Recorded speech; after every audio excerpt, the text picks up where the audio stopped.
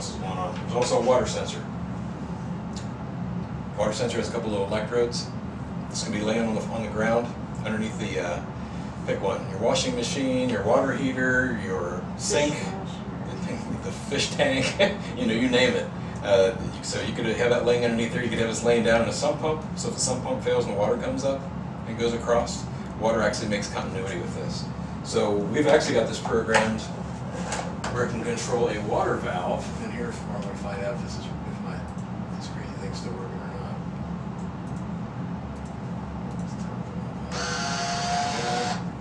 Thank you. So you can actually have it set up so when this detects water, it can automatically shut off the main water to your house. This is the valve. This would be like the water valve coming into your house, your water main. So when water's detected, it will automatically shut off the water. Which, again, if you're in a, a multi-story building, high-rise building, condominiums, somebody on the top floor springs a leak, this thing detects it, shuts off the water, minimizes the damage to all the units below it. And so there's a lot. I'd say I see there's huge applications for this in that type of in that type of market, without a doubt.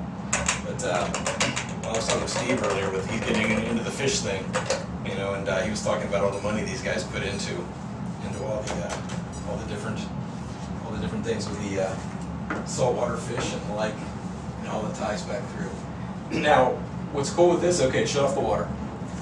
So now somebody can go in, fix wherever your water leak is, and say say this is a rental property.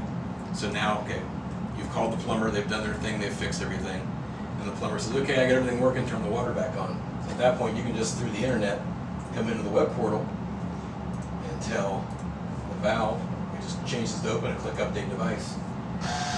Back and talks to the unit. And we'll go ahead and open the water up back for you. So there's a lot of different applications that tie back in through that.